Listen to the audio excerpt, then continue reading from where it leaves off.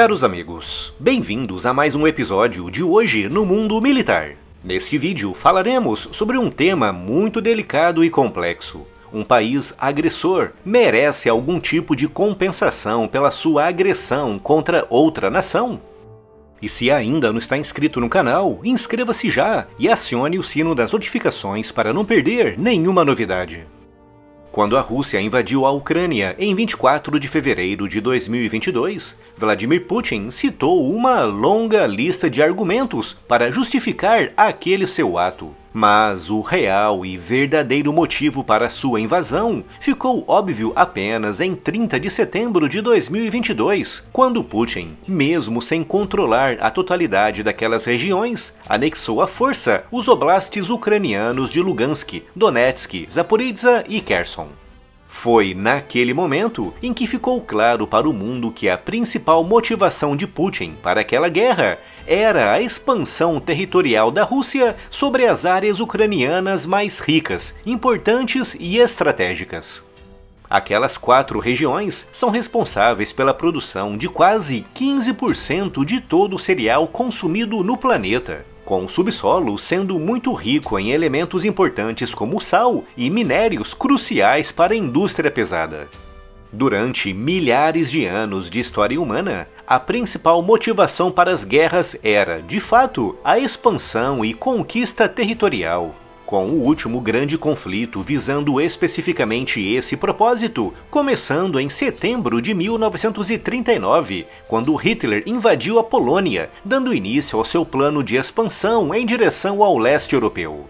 Depois de Hitler, o único líder a iniciar uma guerra visando especificamente a expansão territorial foi Vladimir Putin violando frontalmente um dos elementos principais da Carta das Nações Unidas, que diz, de forma clara e explícita, que anexações territoriais decorrentes de guerras são totalmente ilegais e não podem ser reconhecidas internacionalmente.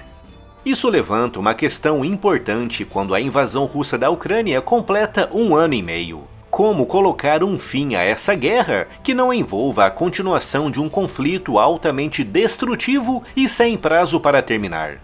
Putin, que começou aquela guerra com o propósito de anexar territórios de um país vizinho, deve ser recompensado por essa sua agressão, recebendo ao menos uma parte dos territórios visados. Do ponto de vista do direito internacional e com base no texto da Carta Fundadora das Nações Unidas, a resposta é não. Como eu disse há pouco, anexações territoriais como resultado de guerras não são reconhecidas internacionalmente. O que significa que a anexação russa de Lugansk, Donetsk, Zaporizhzhia e Kherson não pode ser reconhecida por nenhuma nação que tenha assinado a Carta das Nações Unidas. Mas, mesmo assim, alguns líderes insistem em oferecer a Putin ao menos uma parte dos territórios que pretendia anexar o suficiente para ele apresentar para o seu público interno pelo menos algumas conquistas na Ucrânia, apresentando-se assim como o vencedor em um conflito que já custou a vida de dezenas de milhares de pessoas, muitas delas russas. E dentre os líderes internacionais que defendem essa via, o destaque vai para o presidente Lula, que voltou a dizer recentemente que as preocupações de segurança da Rússia devem ser levadas em conta em uma negociação de paz. Ou seja, para o governo brasileiro, Putin deve receber, ao menos, uma parte dos territórios ucranianos visados, a tal recompensa pela sua agressão.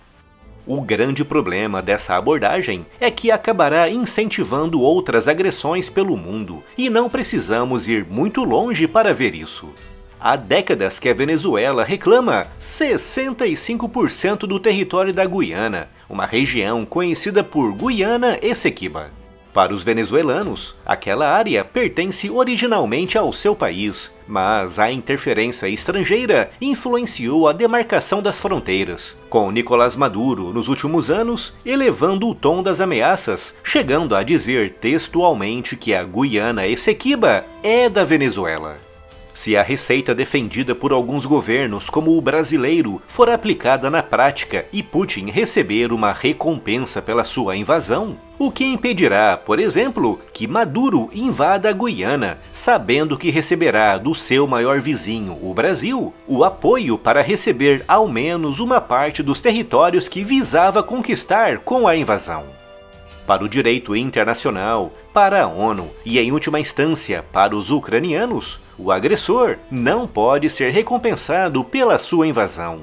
Se isso acontecer, uma das bases, uma das fundações das Nações Unidas será demolida, e muitas outras nações verão nisso o incentivo que precisavam para, assim como Hitler fez em 1939 e assim como Putin fez em 2022, atacar um país vizinho visando única e exclusivamente a expansão territorial.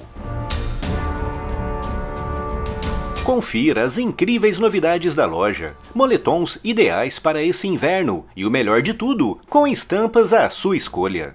Luminárias exclusivas com a logo do canal, da FEB e bonés bordados de alta qualidade e com estampas incríveis canecas, camisetas e polos com temas militares para todos os gostos e tamanhos. Clica no link aqui na descrição e confira todas as novidades.